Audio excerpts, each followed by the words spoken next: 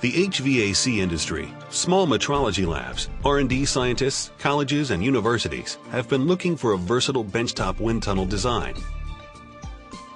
The team of design engineers at Omega Engineering in Stamford, Connecticut have answered this need by developing a family of rugged, portable, and affordable wind tunnels, such as the WTM 1000, The WTM 1000 allows the user to test, calibrate, and verify readings of either hot wire, probe type, or vane type anemometers at preset wind speeds of 2.5, 5, 10, and 15 meters per second.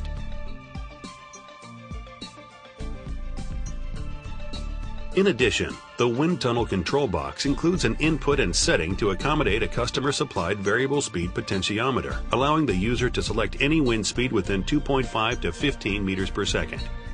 To get the most out of the WTM 1000 mini wind tunnel, be sure to read the owner's manual. It fully describes the recommended do's and don'ts for optimal usage. Installation is important with the WTM 1000. The owner's manual has clear instructions. When installing the wind tunnel, be sure to have ample space, 5 feet minimum, on the front intake and rear exhaust of the tunnel.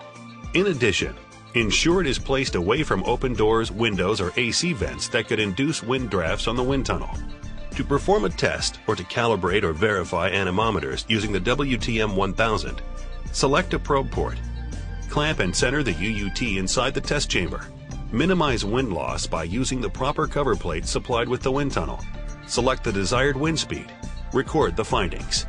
Versatility, portability, and ease of use are particular benefits of the WTM 1000. The 4-inch diameter test chamber is able to accommodate various types of anemometers, with four pre-selected wind speeds, plus the flexibility to control speed anywhere between 2.5 and 15 meters per second.